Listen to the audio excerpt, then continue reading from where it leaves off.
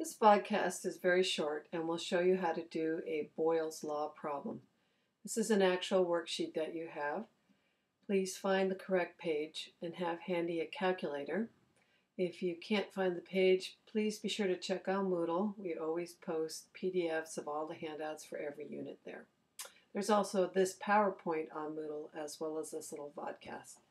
So let's take a look at this Boyle's Law problem and number one, figure out how, what kind of problem it is, if it didn't already say Boyle's Law at the top of the sheet.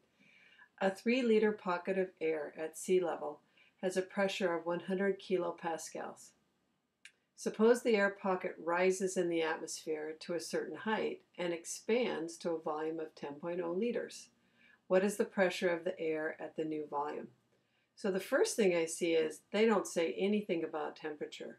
So if you know temperature is constant or if the problem doesn't measure temperature at all, then it is a problem about volume and pressure.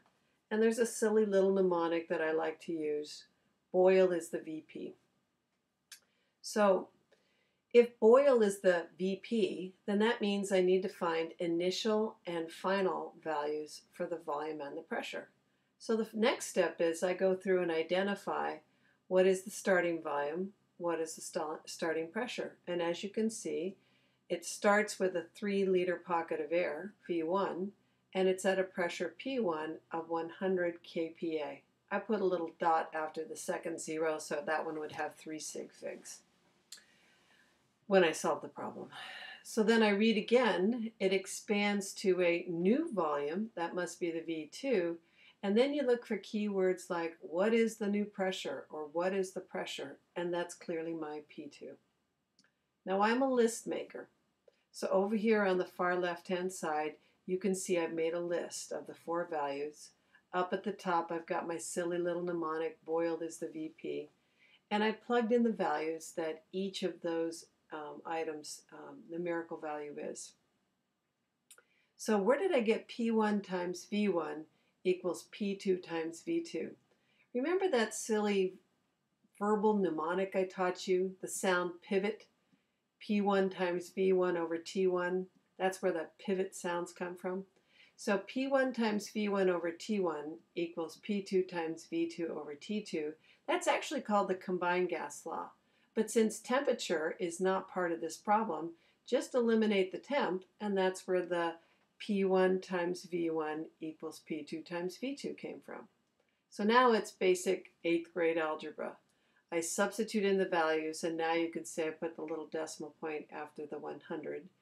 So we have 100 kilopascals times 3 liters, that's our P1 times V1, equals, I don't know, times 10.0 liters. So the unknown is the P2. Again, Eighth grade algebra says I should be able to rearrange that equation.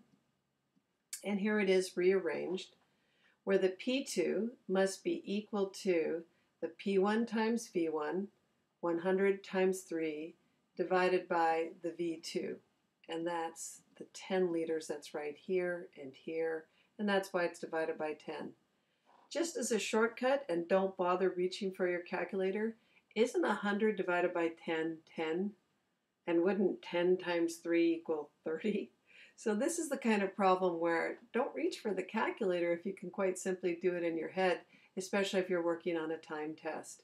I reported the value to 30.0, which has 3 sig figs, and I am done.